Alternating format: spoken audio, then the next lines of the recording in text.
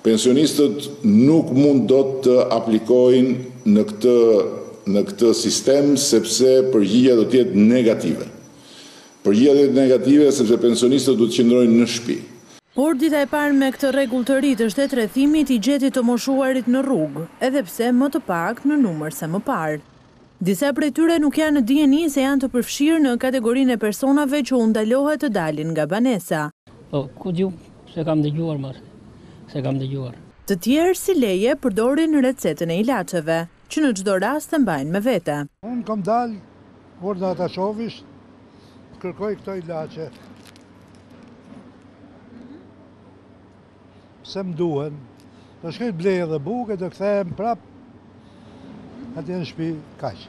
Thonë se shpërndarjen e ilaçeve në shtëpi e kanë dëgjuar vetëm në lajme, pasi deri më tani asnjë institucion nuk u ka ardhur në ndihmë. Kush t'i marrë ilaçet mu?